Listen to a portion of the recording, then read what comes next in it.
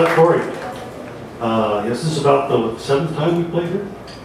Something, yeah. And we really, it's one of our favorite places to play. We love playing here. And as Corey mentioned, we are in a restaurant. So we're going to start out with a tune uh, which uh, ties in with what this place is uh, largely about. It's called uh, Have a Drink With Me. Actually, I got nothing up here to drink at all. We'll fix that later. Yeah.